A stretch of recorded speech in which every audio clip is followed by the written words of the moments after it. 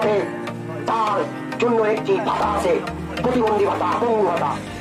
এই পঙ্গু ভাতার টাকা দিয়ে এই মার্কামারা লোকটি আপনাদের কাছে মাছের বাজারের মতো আদায় করেছে।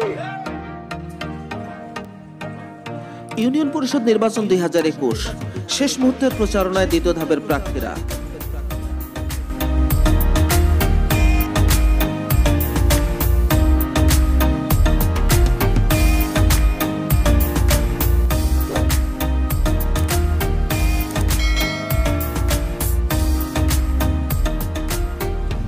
সারা দেশের আটশো আটচল্লিশটি ইউনিয়ন পরিষদ নির্বাচনের বাকি আর মাত্র কয়েক ঘণ্টা। প্রচারণা তুঙ্গে। চেয়ারম্যান ও মেম্বার প্রার্থীরা ব্যস্ত সময় কাটাচ্ছেন শেষ মুহূর্তের প্রচারণায়।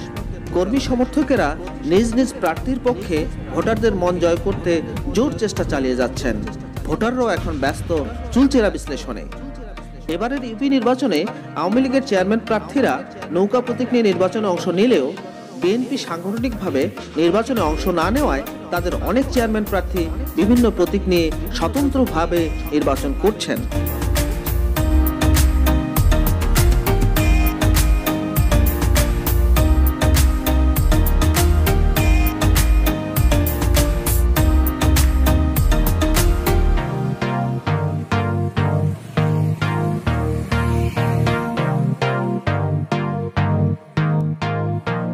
এগারো নভেম্বর দুই হাজার একুশ বৃহস্পতিবার দেশের আটশো আটচল্লিশটি ইউনিয়ন পরিষদে সাধারণ নির্বাচন অনুষ্ঠিত হবে।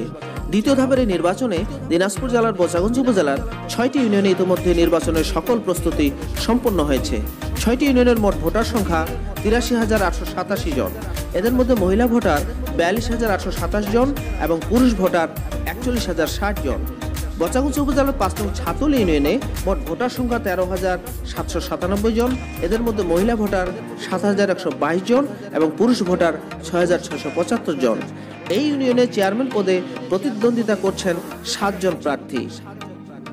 পাঁচ নং ছাতল ইউনিয়নে চেয়ারম্যান প্রার্থীদের মধ্যে অটোরিকশা প্রতীক নিয়ে লড়ছেন মোহাম্মদ শহীদুল হোসেন চৌধুরী। আনারস প্রতীকে মোহাম্মদ জুবিয়া রহমান চৌধুরী, ঘোড়া প্রতীক নিয়ে আলহাজ মোহাম্মদ হাবিবুর রহমান হাবিব চশমা প্রতীকে মোহাম্মদ খাদিমুল নবী চৌধুরী বাদল নৌকা প্রতীকে মোহাম্মদ হাবিবুর রহমান হাবু মোটরসাইকেল প্রতীকে মোহাম্মদ শফির উদ্দিন এবং রজনীগন্ধা প্রতীক নিয়ে প্রতিদ্বন্দ্বিতা করছেন মোহাম্মদ শাহ সেকান্দার। কমিশন ঘোষিত আটশো আটচল্লিশটি ইউনিয়নে নির্বাচন হতে যাচ্ছে। সেই ইউনিয়নে মেম্বার এবং চেয়ারম্যান প্রার্থীরা প্রচারণা চালিয়ে যাচ্ছেন। আগামী এগারোই নভেম্বর ভোট হবে এই দিনাজপুর জেলার বচ্চাগঞ্জ উপজেলার। ছয়টি ইউনিয়নে। আজ চলছে একেবারে শেষ মুহূর্তের প্রচারণা। এবং আজ রাত থেকেই নির্বাচনী এলাকায় বলবৎ হতে চলছে মোটরসাইকেল চলাচলের নিষেধাজ্ঞা। সুষ্ঠু অবস- অবস্থায় বিরাজ করছে দিনাজপুর জেলার বচাগঞ্জ উপজেলার এই আজকে যে আমি ইউনিয়নটিতে দাঁড়িয়েছি এটা হলো ছাতল ইউনিয়ন।